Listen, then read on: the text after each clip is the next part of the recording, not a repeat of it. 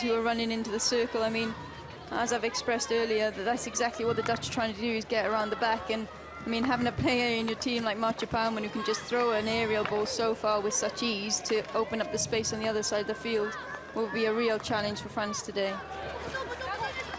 Queuing up in, good save by the keeper. Still not clear though. Verschoor's shot! Straight through this time, no stopping that. It's the girl with the big hair, gives the Dutch the lead.